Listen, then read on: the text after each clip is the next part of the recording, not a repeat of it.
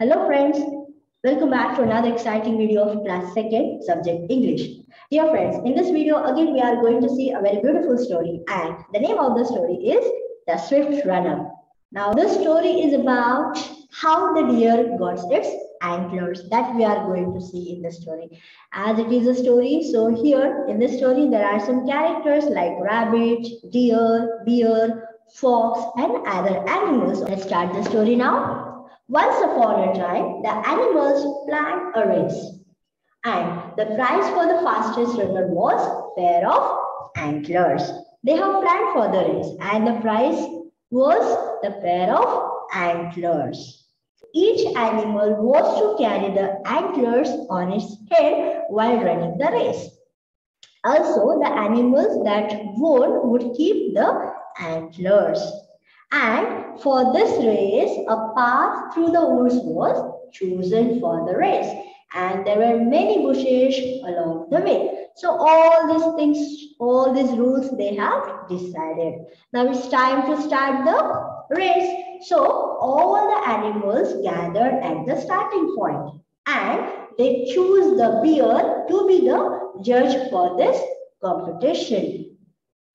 Now, as it was decided that the rabbit and the deer alone should try for the prize. Why they should alone try for the prize? Because other animals thought that the deer and rabbit are the best runners. They are very fast runners. So they will match with each other. That's why the other animals thought that the deer and the rabbit alone should try for the prize. Now, the rabbit was given the first chance. So, however, at that time, rabbit said that before starting the race, first I would like to look at the ground where I have to run. He thought like that and so that the rabbit disappeared into the woods. Now all the animals were waiting for the rabbit, but rabbit did not return for a long time. So at that time, the fox was sent to look for him. The rabbit had forgotten all about the race. The fox found that the rabbit was busily munching on a fish carrot. All these things the fox saw and what he did, he went back to the other animals and he told to the other animals that the rabbit is very much busy in eating the carrots and rabbit has forgotten about the race also. All these things he said to the other animal. Rabbit came there. But at that time, bear said that you cannot enter the race. You are too fond of munching carrot. You may keep on eating. So the rabbit was not allowed to run the race. And soon after that, the fox placed the antlers upon the head of the deer and said to the deer that now it was your turn to try and win the race.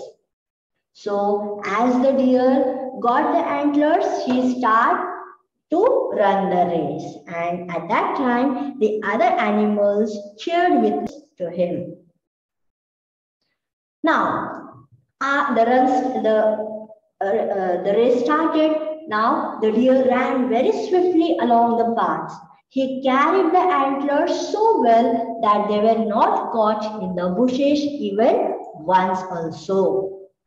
When the deer returned to the starting point after the long race, the who was a judge for this competition, he declared him as the winner. As the bear gave the prize to the deer, he said, Well done. You shall wear the antlers on your head always, and you will be always called the swift runner. Like this, the deer got its antlers, and the deer will be called as a swift runner. So, the deer becomes the winner of this race. Now, students, in this story, what we have learned? We have learned that how the deer got its antlers and also we have learned one moral that we should always be alert while we are doing any work. So I hope you have understood the lesson, understood the story. Thank you.